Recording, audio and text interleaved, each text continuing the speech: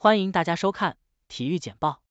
我们现在给大家播报的主要内容包括：NASCAR 加速电视和流媒体交易，价值近八十亿美元；贾伦、萨格斯和科尔、安东尼在魔术队连续第八场胜利中重新创造了詹姆斯·韦德的标志性照片。约基奇的三双帮助掘金队以一百三十四比一百二十四击败火箭队，穆雷复出。这些基辛格的专栏文章。至今仍然具有共鸣。哈里斯得到二十四分，波士顿学院以二十二分领先范德比，在 ACC SEC 挑战赛中取得胜利。请大家收看：NASCAR 加速电视和流媒体交易，价值近八十亿美元。华尔街日报：NASCAR 与包括亚马逊、华纳兄弟探索公司和维亚康姆 CBS 在内的媒体合作伙伴签署了价值七十七亿美元的新电视和流媒体权益协议。这些协议从二零二五年到二零三一年，较之前的安排增加了百分之四十。近年来，流媒体的受欢迎程度显著增长。亚马逊将 NASCAR 纳入其 Prime Video 服务，华纳使用其 Max 平台播放比赛。这些协议不包括制作费用，这可能会增加对 NASCAR 的总付款。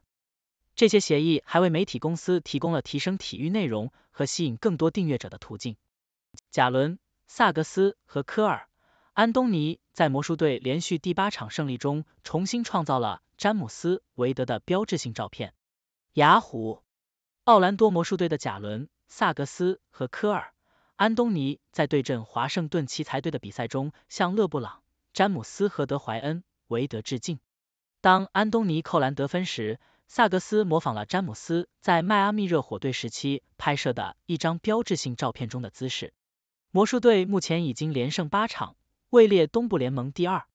约基奇的三双帮助掘金队以一百三十四比一百二十四击败火箭队，穆雷复出。美联社，尼古拉约基奇以三十二分、十五次助攻和十个篮板的三双表现，带领丹佛掘金队以一百三十四比一百二十四击败休斯顿火箭队。迈克尔波特尔朱尔回到场上贡献三十分，而贾麦勒穆雷从伤病中回归，得到十六分。这场胜利是掘金队连续第三场胜利，也使他们在主场的战绩提升至九胜零负。贾伦·格林为火箭队贡献了二十六分，他们在过去七场比赛中输掉了五场。这些基辛格的专栏文章至今仍然具有共鸣。华盛顿邮报评论版：亨利·基辛格，前国务卿和国家安全顾问，于周三去世，享年一百岁。他在华盛顿邮报上撰写了二百多篇专栏文章，以下是他的一些作品，涵盖了从外交政策问题到他对足球的热爱等各种主题。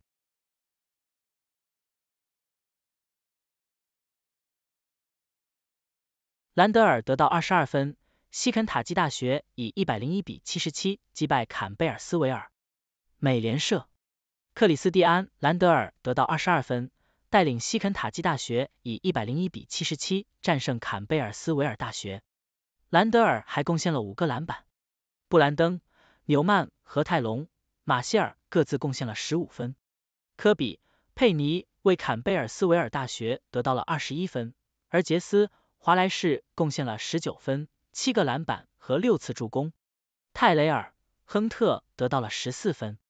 贝克尔斯的十八分。帮助新墨西哥州以七十四比六十五击败路易斯安那理工大学。美联社，周三晚上，新墨西哥州在一场大学篮球比赛中以七十四比六十五击败了路易斯安那理工大学。杰马尔·贝克尔、朱尔回合率领洛波斯队得到十八分，三分球六投九中。贾伦·豪斯得到十六分，内里·朱尼尔·约瑟夫得到十一分和十一个篮板。以赛亚。克劳福德得到了路易斯安那理工大学的二十四分和八个篮板。这场胜利终结了路易斯安那理工大学的五连胜。阿多安克拉赫得到十八分，丹佛以六十七比六十五击败爱达荷。美联社，丹佛的以赛亚阿多安克拉得到十八分，并抢下七个篮板，在六十七比六十五击败爱达荷的比赛中为先锋队贡献了胜利。维安达尔队由 D'Angelo Minis 领衔。他得到十五分，并送出七次助攻。朱利叶斯·米姆斯为爱达荷队贡献了十分和十个篮板的两双数据。在没有恩比德的情况下，七六人队落后很多，输给了鹈鹕队。我有三个观察结果。雅虎，周三晚上，费城七六人队以一百二十四比一百一十四输给了新奥尔良鹈鹕队，这是球队在没有乔尔、恩比德的两场比赛中的第二次失利。恩比德因病在比赛前临时退出，七六人队在第一节就落后十八分，他的缺席让球队感到了压力。尽管在最后时刻他们进行了强烈的反击，将二十九分的落后缩小到八分。但七六人队无法弥补 MVP 和他场均三十三分的缺失。肯尼·史密斯认为德雷蒙德已经超越了与勇士队道歉的阶段。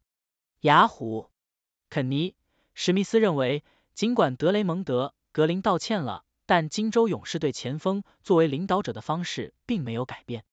史密斯还认为，格林职业生涯中的五次停赛都发生在对球队来说不方便的时候，他需要学会保持冷静。湖人队反弹并大胜底特律，将活塞队连续失利记录推至十五场。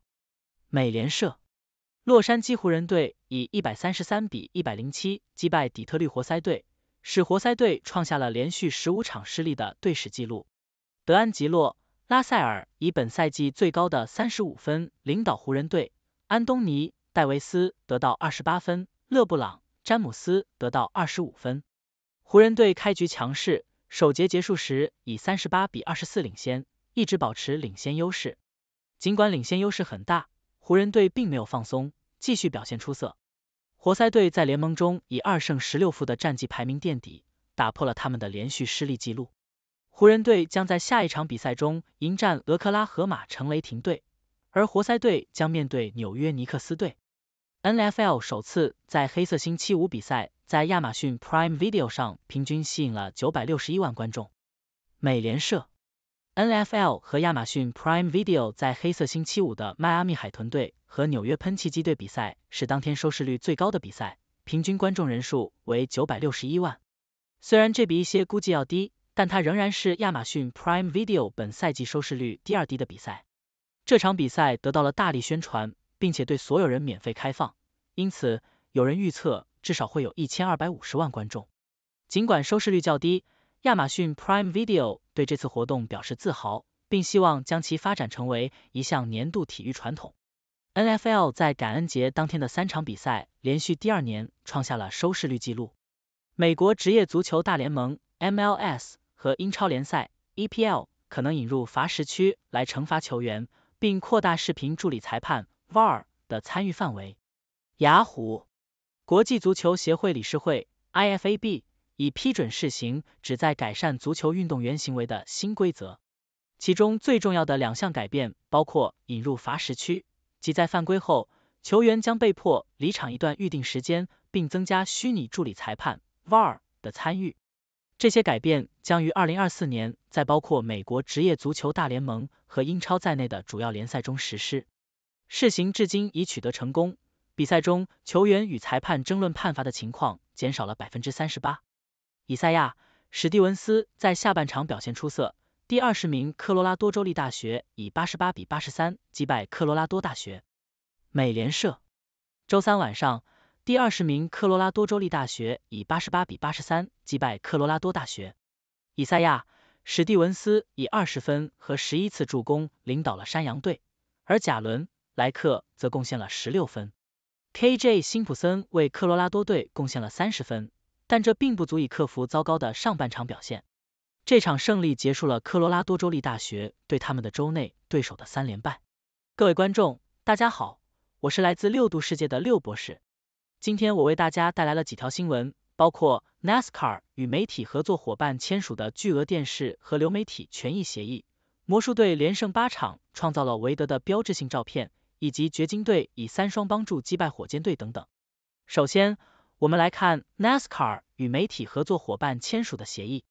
这是一个价值近八十亿美元的交易，让 NASCAR 的比赛能够在亚马逊和华纳等平台上播出。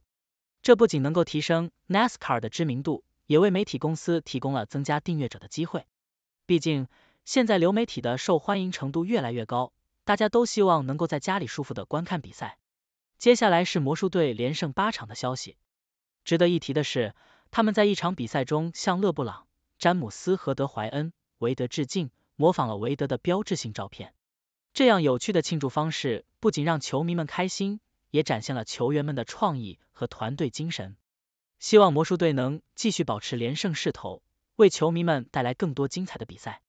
还有一条消息是关于掘金队的胜利，尼古拉·约基奇以出色的表现带领球队击败了火箭队，他的三双表现让球队取得了连胜。此外，穆雷从伤病中回归，也为球队增添了力量。掘金队目前在主场的战绩非常出色，希望他们能够继续保持这样的状态，为球迷们带来更多惊喜。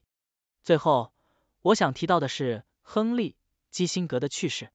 他是一位杰出的外交家和作家，在《华盛顿邮报》上撰写了二百多篇专栏文章，这些文章至今仍然具有共鸣，涵盖了各种主题。他的离世是外交界的一大损失，我们应该纪念他的贡献。